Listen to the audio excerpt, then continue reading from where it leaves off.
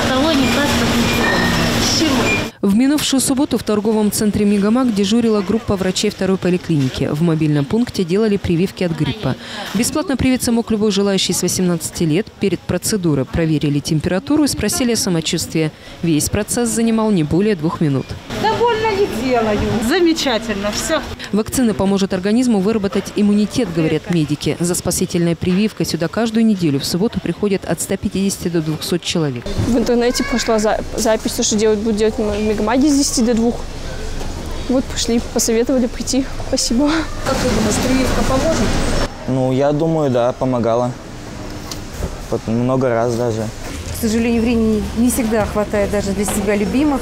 Поэтому такой вот свободный день, придя вот в Мегамаг, замечательно. Я призываю, чтобы все люди находили время и берегли свое здоровье. По данным Роспотребнадзора, сезон 2018-2019 пройдет под штаммами разновидности вируса А. Мичиган и Сингапур, а также викторианский сорт вируса Б. Колорадо. Начальные симптомы вполне стандартны. Утомляемость, насморк, головная боль, которые быстро переходят в более серьезные, с температурой 39, болью в мышцах и суставах, жаром и ознобом. Большой риск развития осложнений летального исхода. 11 штаммов вошли в состав вакцины Совигрипп, которую впервые используют в этом году. Вакцина переносится намного легче, чем гриппол. Могут быть легкие симптомы простуды. Могут, может быть насморк, першение в горле в течение трех дней. Это все проходит.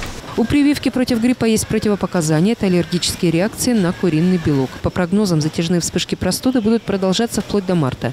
Всего к предстоящему педсезону гриппа и ОРВИ планируется привить 45% населения Колымы. Бесплатную вакцинацию против гриппа можно получить в поликлиниках по месту жительства, детских садах и школах.